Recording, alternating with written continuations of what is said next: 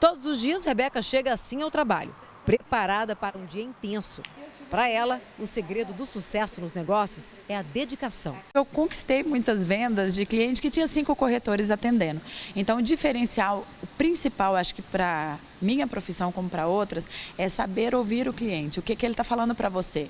Às vezes o cliente está pedindo um imóvel de 300 mil e o corretor oferece um de 500, 600. Então o cliente percebe que você não está entendendo ele, que você está querendo vender outra coisa. Rebeca é corretora de imóveis há dois anos. Tem curso superior de pedagogia e design de interiores, mas resolveu mudar de ramo. Por quê? Para ser mãe.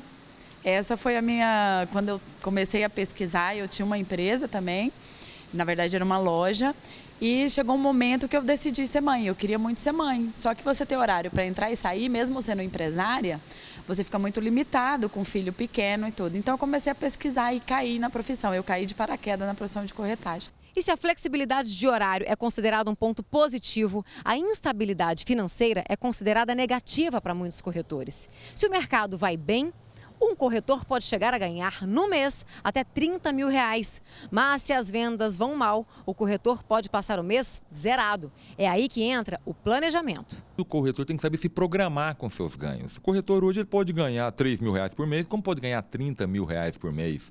Agora, como ele saber guardar uma parte desse recurso, porque o mês que ele não chegar num patamar mínimo para que ele possa estar saneando as suas contas, ele tem uma reserva. Aí que é a inteligência que o corretor de imóveis tem para poder estar perseverando e durando no mercado. Para se tornar corretor, a pessoa precisa fazer o curso superior de ciências imobiliárias ou o curso técnico de transações imobiliárias.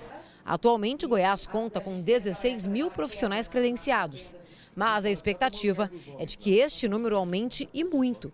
Isso porque o mercado imobiliário promete crescer em 2019 e as mulheres que hoje ocupam 30% das cadeiras devem ganhar ainda mais espaço.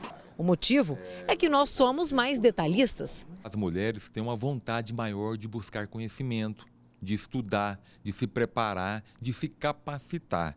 E a própria visão dela do mercado imobiliário faz com que elas sejam cada vez mais corretoras de imóveis de sucesso.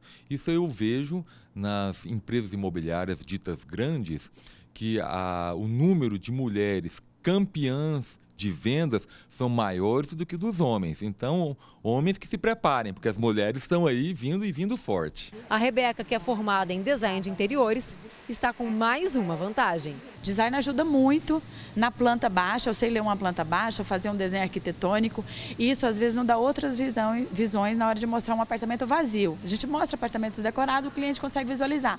Quando você mostra um vazio, o cliente fica, nossa, e aqui, o que, que eu faço? Eu já dou as sacadas muito rápido para ele, ele fala, nossa, não tinha pensado nisso. Então, ajuda na venda.